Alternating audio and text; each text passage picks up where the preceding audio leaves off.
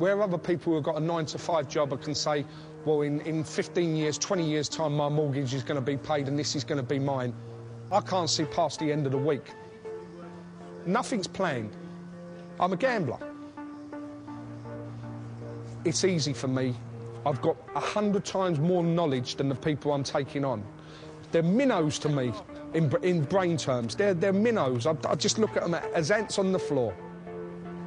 The master. Oh, I didn't think I'd be walking yesterday, I swear to God.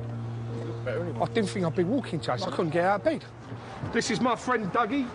We'll be uh, doing battle in about uh, 45 minutes' time. You're right and all. And he always beats me. Why? Because he's too clever. Oh, if everybody was like him, I'd be skinned. I can't say no more than that, can I? It's because he's too clever. Certain people, you can take a thousand pound bet from, it doesn't worry you. Other people, well, you're not too sure. These are what I call professionals.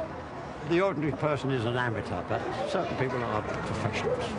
And you have to be careful of the professionals, obviously. And we come out fighting. Absolutely. We've, we've had a few rounds. we have had a few rounds. We've had a few rounds.